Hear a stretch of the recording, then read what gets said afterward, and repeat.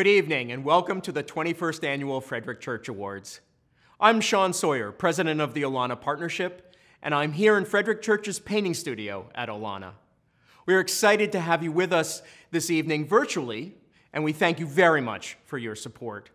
Tonight, we present the 2020 Frederic Church Awards to two great friends of Olana, David Redden and Eleanor Jones Harvey. At the end of this 30 minute program, we will announce a special live tribute to our honorees, so please stay with us. The Olana Partnership operates Olana State Historic Site in a public private partnership with the New York State Office of Parks, Recreation, and Historic Preservation. This year, we are particularly grateful that Olana has remained open as a public park throughout the COVID crisis. Church's 250 acre landscape has provided a place of safe recreation and inspiration for tens of thousands of people. Hi, I'm Amy Hausman, Director of Olana State Historic Site. Olana is a public park that's free and open to all. And over the last nine months, we've been so gratified to welcome a rich array of first time visitors to Olana. We've seen a broad group of people, diverse people coming from all over this community, coming to find relief and refuge in our beautiful landscape. We're very grateful to Governor Andrew Cuomo for keeping New York State parks open during the pandemic. Our New York State Parks crew has been working tirelessly to keep Olana safe and beautiful for our visitors. And the Olana Partnership has been producing incredible virtual and on-site public programming to keep people connected to Olana and the things that we do here. A National Historic Landmark, Olana is the most intact artist environment in the United States. It embodies Frederic Church's vision of the promise of America as a place where people live in harmony with nature. Let's take a look.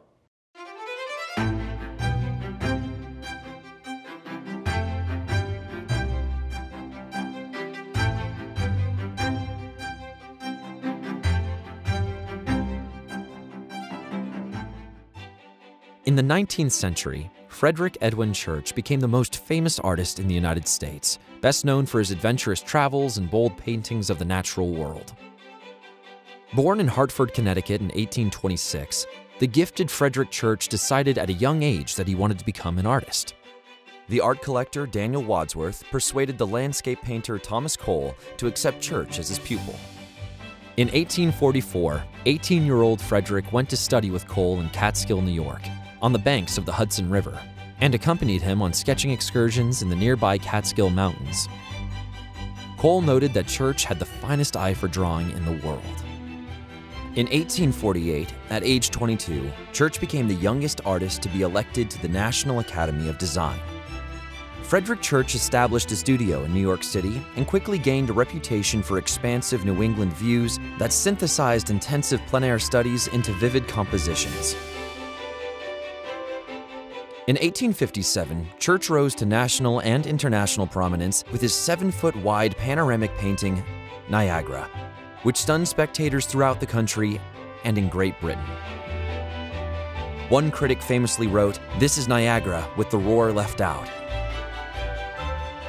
By this time, Church had also become enraptured with the work of the renowned naturalist and explorer, Alexander von Humboldt. Humboldt implored artists to travel and capture the majesty of the natural world, particularly in South America. In 1853, Church made the first of two expeditions following in Humboldt's footsteps through the Andean region. His resulting 1859 masterpiece, The Heart of the Andes, is a huge 10 foot painting that he exhibited in dramatic fashion. It was the blockbuster art event of the decade and stunned audiences in New York City and around the country. His friend, Mark Twain, wrote, You will never get tired of looking at the picture. And a New York paper wrote, A new picture by Mr. Church is as considerable an event in the world of art as a new novel by Victor Hugo or a new poem by Tennyson would be in the literary world. It was during the exhibition of The Heart of the Andes that Frederic met Isabel Carnes. They married in 1860 and purchased a hillside farm in Hudson, New York, directly across the Hudson River from the home of his late teacher, Thomas Cole. This property formed the seed of his greatest artistic endeavor, Olana.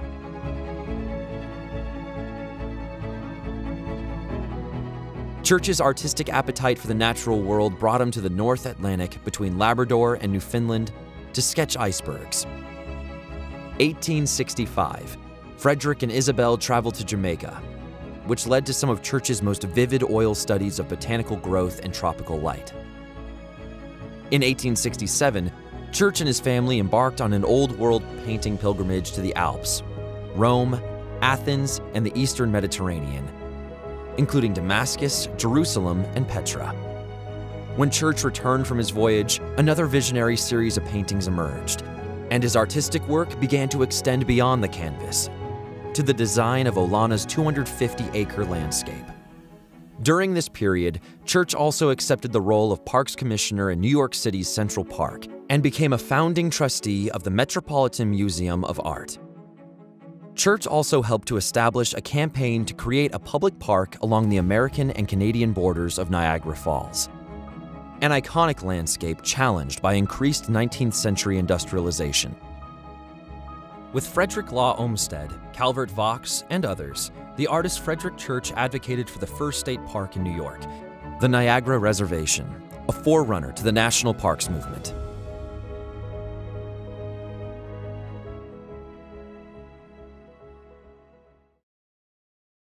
Frederic Church's Olana, an artist's home and studio, an experiential and environmental work of art, a 250 acre earthwork, a New York State historic site and public park, a regional economic engine, a national historic landmark, a viewing platform toward the American sublime, a mega artifact, a national preservation of victory the most intact historic artist's environment in the United States.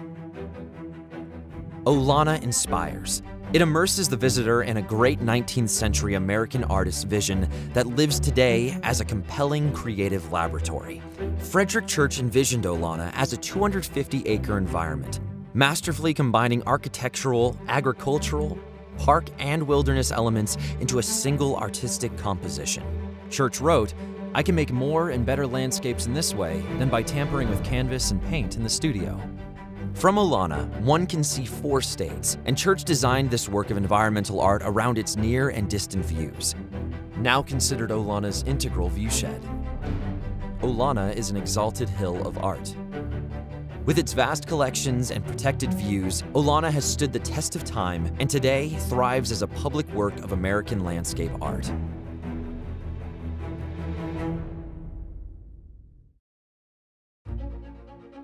Yet it was all nearly lost.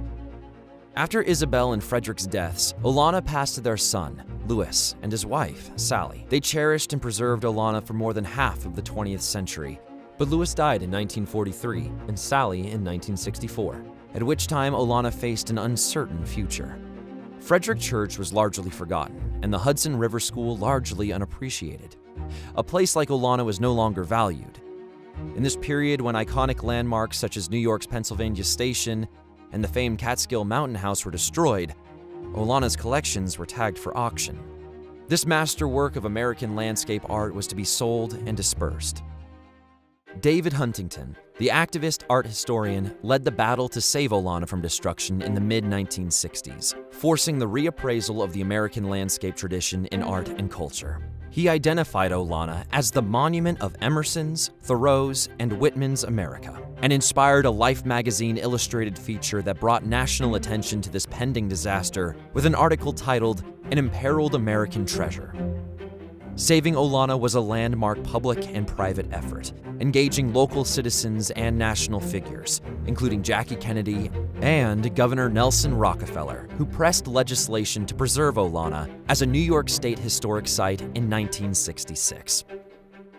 From this miraculous preservation victory, the Olana Partnership emerged as a committed nonprofit steward that champions and interprets Olana as a national landmark of American landscape and environmental thinking. Our precedent setting advocacy to protect Olana's viewshed yielded dramatic results for the Hudson Valley and the country as a whole. In the 1970s, a successful campaign prevented the construction of a nuclear plant on the river below Olana, enlisting art and cultural historians and curators nationwide to establish aesthetic impact as a measurable criterion in the federal environmental review process.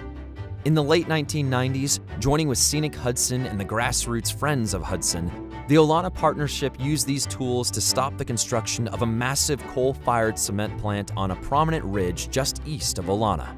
As it evolved from one staff member to a talented professional team with an engaged board of trustees, the Olana Partnership championed the comprehensive restoration of Olana and the understanding of it as a holistic work of art, an artist-designed environment in which Church's creation of the landscape with the farm complex at its heart is fundamental to understanding his legacy as a painter and national cultural figure. The painstaking restoration of Olana's main house, with its astonishing interiors and vast collections, came first as part of the 2002 comprehensive plan completed with New York State Parks and its Bureau of Historic Sites. The joint 2015 Olana Strategic Landscape Design Plan extended a compelling vision for transforming the visitor experience at Olana. This award winning plan is the foundational document for the $20 million public private capital development effort now underway at Olana. At the same time, the Olana Partnership established the annual Frederic Church Awards to recognize individuals and organizations who make extraordinary contributions to American art and culture. Past recipients include artists Martin Puryear and Stephen Hannock, landscape architect Laurie Olin, collectors and art visionaries Patricia Phelps DeCisneros and Alice Walton, curators and art world leaders Linda Ferber, Betsy Brune, Frank Kelly, John Wilmerding, and Maury Heckscher. Parks leaders Rose Harvey and Lucy Rockefeller Waletsky, and Olana's champions Jazz Johnson, Bern and Susan Oberwager, and Kay Toll, and many others. The physical award is inspired by Cleopatra's Needle, Frederic Church played a role in siting this ancient Egyptian obelisk near New York's Metropolitan Museum, joining art and landscape. A small replica was given to Frederic Church for his involvement, and it survives today in Church's painting studio at Olana.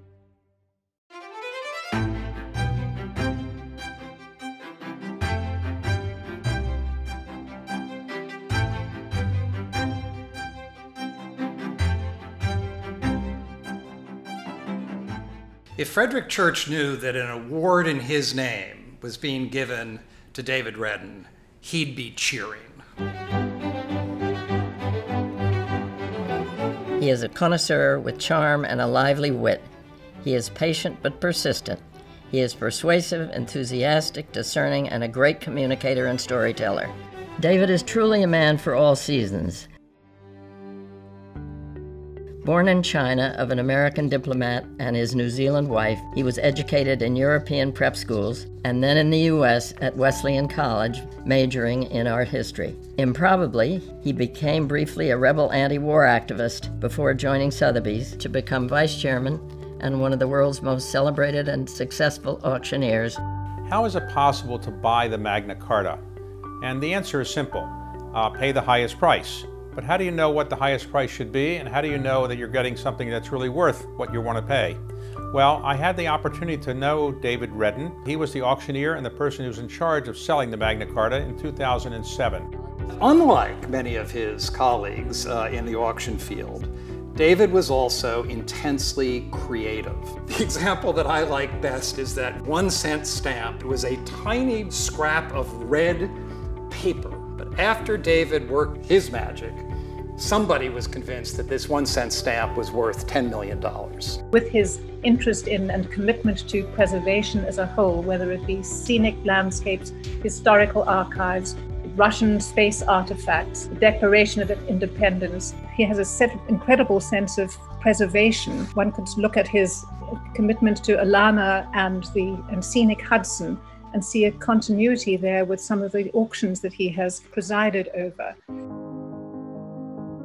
So many important, august organizations in the valley, of course, Olana, and so many others that he has provided vision, leadership, financial support, and uh, great direction. To have spent 30 years in the Hudson Valley. I've been involved with so many different organizations there, art organizations, environmental organizations. Uh, I feel the, the water of the Hudson River flows through my veins. It's, it's part of my life.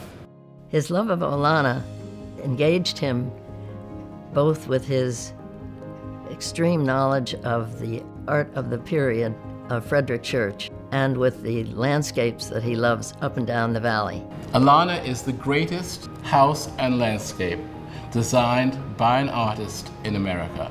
It is a great and extraordinary national jewel, and to have that vision still so alive, so brilliantly and vibrantly, is a sort of miracle.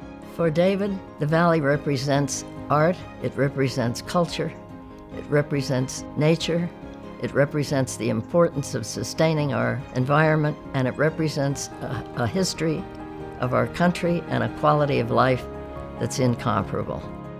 So, no tribute to David would be complete without acknowledging Jeanette. If David is the wild eyed prophet, then Jeanette is the patient saint standing at his side. The ubiquitous David Redden, a gentleman defined, a hero of the river, or finally, I'm grateful to David, we love you. We thank you, David. Hello, I'm Jeanette Redden. Due to ALS, David Redden is unable to speak with us this evening. Thank you so much for this wonderful honor. I know it means a lot to him.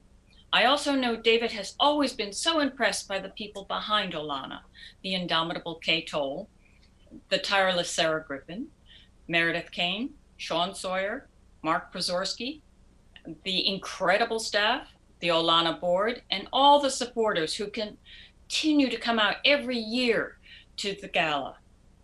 David has always felt that Olana was more alive, more living than most historic houses.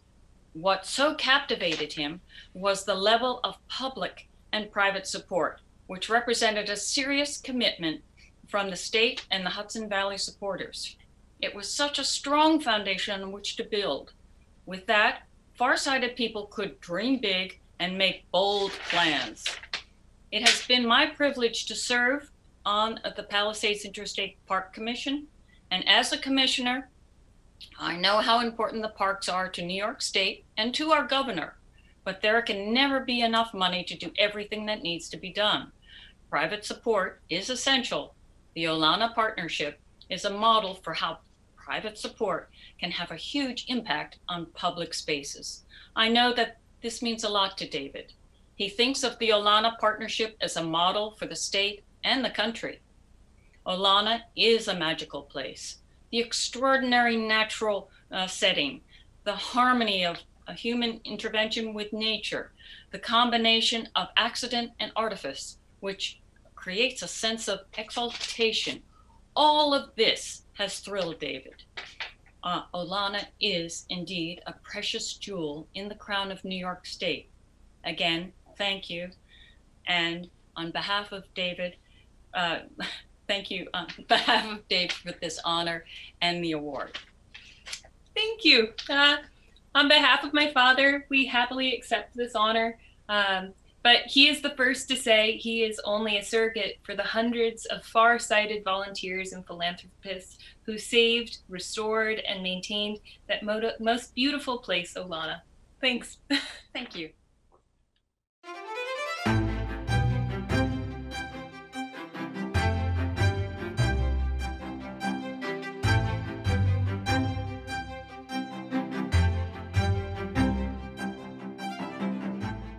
This year, COVID presented a challenge for the Olana Partnership. At Olana, our normal patterns of visitation and means of support were fundamentally altered, and the Olana Partnership staff had to quickly adapt to a new world. It was challenging over the first few months, but our staff successfully mobilized and quickly adapted to the new reality presented by the global pandemic. We are proud of our staff. Let's hear from them about some of this year's accomplishments. This year we launched a brand new virtual webinar series featuring experts and specialists across the United States. Uh, I'm happy to report that this new virtual membership benefit has increased our base of members uh, across the United States. Our touring program reopened outdoors in a safe way. Visitors could choose from our three forms of landscape tours, including our popular electric carriage experience. We were also able to reopen the main house in a safe but limited way. Our dedicated team of volunteers helped make all of this possible. In an effort to make Olana more accessible, the Olana Partnership obtained emergency COVID funds from the Art Bridges Foundation. For the first time, we've been able to photo document the main house, both inside and out, as well as the larger Olana landscape. This state-of-the-art technology will form the basis of future tours and research. We created our new Family Explorer Tours. We launched a series of virtual field trips for school children, and we transitioned our creative aging program to a virtual format. On site, we introduced beehives into the historic orchard fields with a series of outdoor programs. Our museum store opened following approved health guidelines, and we launched our virtual online museum store earlier this year. We also featured New York Makers pop up shop during our peak visitation weekends. We launched our 10 part virtual landscape tour series and also increased our online presence through our popular Dogs of Olana series. We were featured in national publications including Vogue and the Wall Street Journal and launched our first ever 24 hour sky cam from atop Frederic Church's studio tower. Now, the view from the Olana Eye can be experienced around the world.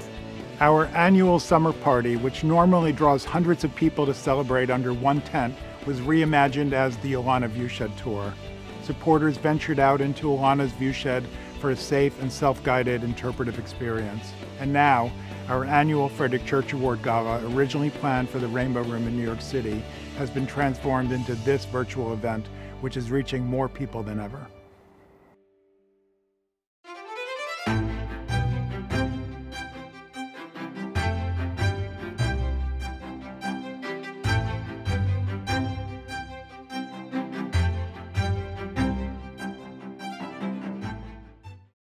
If somebody had come to me and said, I'm going to write about Alexander von Humboldt and his influence on American art and culture, I would have said, save that for the rest of your career.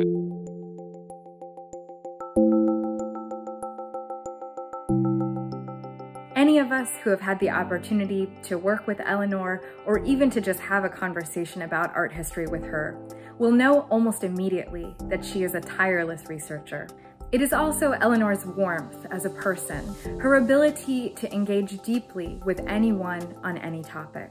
When I think of Eleanor, I really think of her incredible research, her commitment to American art, her commitment to telling these stories to broad publics, when you first encounter the curator behind so many great projects, uh, the icebergs in Dallas, the Civil War in American art, and now the Humboldt show, it can be a little bit intimidating, but you quickly learn that she is compassionate, kind, generous soul like no other. Both of us share a passion for 19th century American landscape painting and of course for Frederic Church. Tequendama Falls in Colombia is in fact one of the first paintings that Church makes that is a deliberate homage to Alexander von Humboldt. She left Dallas to become uh, a curator at the Smithsonian American Art Museum. And while there, she continued organizing grand exhibitions on important themes in American art. She's done so many important exhibitions. Outstanding in my mind was her great exhibition on the understudied topic of the Civil War and American art. I'll never forget the experience of walking through the galleries and seeing the huge canvases by Frederic Church and the way that she connected this to a historical moment so formative in our nation's history. She's a great communicator and she's so passionate about what she does. It's just, uh, it's always a joy to be around her. Eleanor's got a particular ability to um, to, to look for very big, big pictures, big ideas in a way that not, not every curator does. It really takes a lot of confidence and, and a lot of knowledge. Alexander von Humboldt was a Prussian scientist who lived 89 years. After years of research and planning, she opened the great exhibition on von Humboldt, which connects both science and art in this important exhibition. And from Cotopaxi to Niagara Falls, to Olana itself, Church's home on the Hudson River, Frederic Church embodied everything he did with an homage to Humboldt. Beyond thrilled that Olana selected Eleanor. The connection with, with church, uh, with Humboldt, and just in terms of recognizing the importance of nature, understand it, and warn future generations of, of the fragile nature of it. Particularly for Eleanor, this thread runs through her uh, many projects and exhibitions. I would like to congratulate her this evening and to celebrate both Frederic Church and Olana the Place tonight.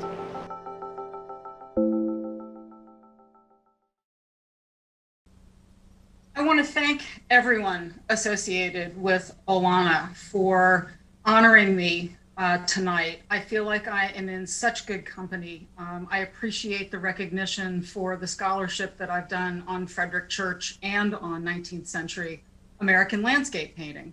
Um, I've had the good fortune to grow up around Church's works here in Washington, D.C., um, with Church's Niagara at the Corcoran, with Aurora Borealis and one of the Cotopaxi's at SAM, and Rio del Luz at the National Gallery of Art. But I was inspired to learn more about Church after seeing an exhibition on his oil sketches, close observations at the Corcoran. And that drew me to my dissertation on oil sketches and my very first trip to Olana. I first visited Olana in 1986 and had the great good fortune to be surrounded by people who gave me their passion for Frederic Church. Um, I remember a dinner over pizza at Mike's in Catskill with David Huntington, who told me the history of Olana, uh, with Jim Ryan, the site manager, and Karen Zukowski, the curator. And since then, it has been my great pleasure to do research, but also to feel inspired inside and outside with what Frederic Church did to create Olana the sculpting of the landscape, the, the staging of the vistas from the windows, and the orchestration of the works of art inside the house. Um, that immersive quality is one of the things I so admire about all of the work that everyone associated with Olana has done over the years to protect, preserve, and interpret this landmark historic site. I am delighted honored, and thrilled to be a part of that extended enterprise. Thank you, everyone, so much. Um, this is an award that means a great deal to me, and uh, I am I could not be uh, happier with this award and with your company tonight. Thank you so much.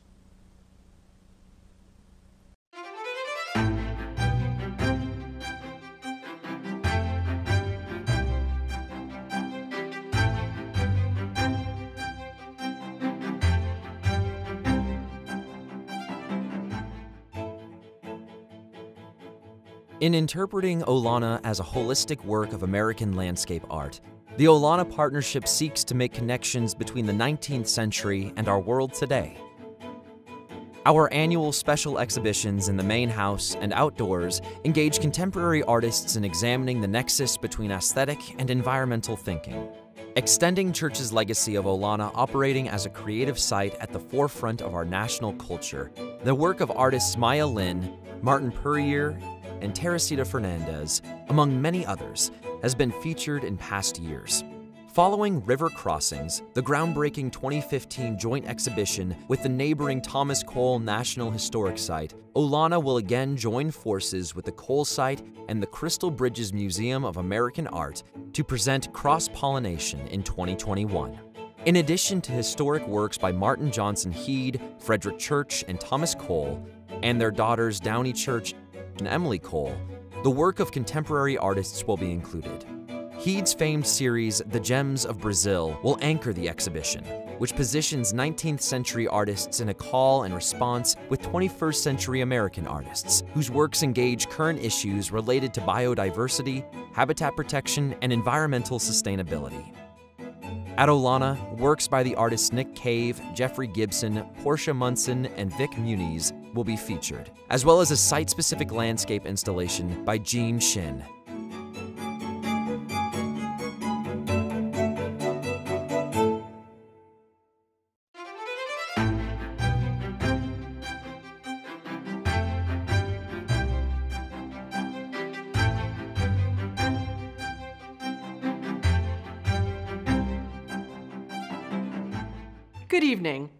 I'm Meredith Kane, chair of the Olana Partnership, and I'm here in the court hall at Olana.